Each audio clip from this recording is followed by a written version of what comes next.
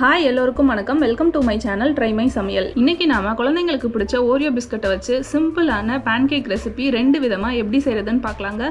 அதுக்கு முன்னாடி சேனலுக்கு சப்ஸ்கிரைப் பண்ணாதவங்க மறக்காம சப்ஸ்கிரைப் பண்ணிட்டு அந்த பெல் பட்டனையும் கிளிக் பண்ணிடுங்க. இங்க நான் ஒரு பேக்கெட் ஓரியோ பிஸ்கட் எடுத்திருக்கேன். இதுல ஃபர்ஸ்ட் பிஸ்கட் தனியா இந்த உள்ள இருக்க க்ரீம் தனியா பிரிச்சு எடுத்துடலாம். இதே மாதிரியே எல்லா பிஸ்கட்டும் எடுத்துக்கோங்க. நான் இங்க பிஸ்கட்டையும் க்ரீமையும் தனித்தனியா பிரிச்சு எடுத்துட்டேன். இப்போ இந்த பிஸ்கட்ஸை ஒரு மிக்ஸி ஜார்ல சேர்த்துக்கலாம். இதோட ஒரு டீஸ்பூன் பேக்கிங் பவுடர் சேர்த்துக்கோங்க. ஹாஃப் கிளாஸ் காய்ச்சி ஆற வச்ச பால். அதையும் இதோட சேர்த்துக்கலாம். அப்புறமா ஒரு முட்டை. இதையும் உடைச்சு அந்த பிஸ்கட்டோட சேர்த்துக்கலாம். இப்போ இது எல்லாத்தையும் மிக்சியில் ஒன்றுலேருந்து ரெண்டு நிமிஷம் நல்லா அரைச்சி எடுத்துக்கலாம். நான் பிஸ்கெட்ஸை நல்லா அரைச்சி எடுத்துட்டேங்க.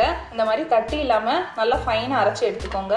இப்போ இதை எப்படி செய்யறதுன்னு பார்த்துடலாம் ஸ்டவ்ல பேன் வச்சிருக்கேங்க. பேன் லேசாக சூடானதும் நம்ம ரெடி பண்ணி வச்சிருந்த இந்த ஓரியோ பிஸ்கெட் மாவை இதில் சேர்த்துக்கலாம்.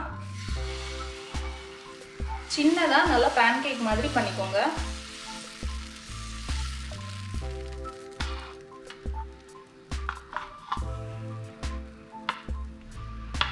இதில் அழகுக்காக லைட்டாக இது பண்ணணும்னு அவசியம் இல்லை. சும்மா அழகுக்காக வேணும்னா பண்ணிக்கலாம். ஃப்ளேமை நல்லா லோ ஹீட்டில் வச்சு குக் பண்ணிக்கோங்க. இந்த மாதிரி ஓட்ட ஓட்டையாக வந்த உடனே இதில் ஸ்டஃபிங்காக பனானாவை இந்த மாதிரி குட்டி குட்டி ஸ்லைசஸாக கட் பண்ணி வச்சிருக்கேன். ஸோ அதை இங்கே சேர்த்துக்கலாம். சேர்த்துட்டு இது மேலே சாக்லேட் ஸ்ப்ரெட் நீங்கள் எந்த சாக்லேட் ஸ்ப்ரெட்னாலும் சேர்த்துக்கலாம். எதுவும் இல்லைன்னா டைரி மில்க் சாக்லேட்டை கூட இந்த மாதிரி மேலே வச்சிங்கனாலே அது இந்த சூட்லேயே மெல்ட் ஆகிடும். ஸோ டைரி மில்க் சாக்லேட்டை கூட இந்த மாதிரி யூஸ் பண்ணிக்கலாம். இப்போ இதை அப்படியே இப்படி வச்சு ரோல் பண்ணிடலாம். அவ்வளோதாங்க நம்மளோட ஓரியோ டெசர்ட் இங்கே சூப்பராக ரெடி ஆயிடுச்சு. இப்போ இதை வச்சு இன்னொரு மெத்தட் எப்படி செய்யறதுன்னு பார்க்கலாம். அதே மாவை எடுத்து சின்ன ரவுண்டாக ஊற்றிக்கோங்க இது ஒரு சைடு நல்லா வெந்ததும் இன்னொரு சைடு திருப்பி போட்டுக்கோங்க. இதை திருப்பி போட்டுட்டு ஜஸ்ட் த்ரீ ஃபைவ் செகண்ட்ஸில் எடுத்துடலாம்.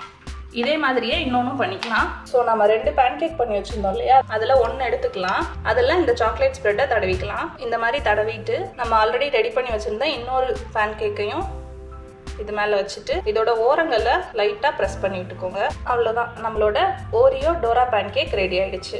அவ்வளோதாங்க நம்மளோட ஓரியோ பேன் கேக் இங்கே ரெண்டு விதமாக சூப்பராக ரெடி ஆயிடுச்சு. குழந்தைங்களுக்கு எல்லாருக்கும் ரொம்ப பிடிக்கும். ஸோ இந்த ரெசிபியை கண்டிப்பாக ட்ரை பண்ணி பாருங்க. ட்ரை பண்ணி பார்த்துட்டு எப்படி இருந்ததுன்னு கமெண்ட்ல சொல்லுங்க. என்னோட சமையல் பிடிச்சிருந்தா லைக் பண்ணுங்க ஷேர் பண்ணுங்க. அண்ட் மறக்காம சப்ஸ்கிரைப் பண்ணிட்டு அந்த பெல் பட்டனையும் கிளிக் பண்ணிடுங்க. தேங்க்யூ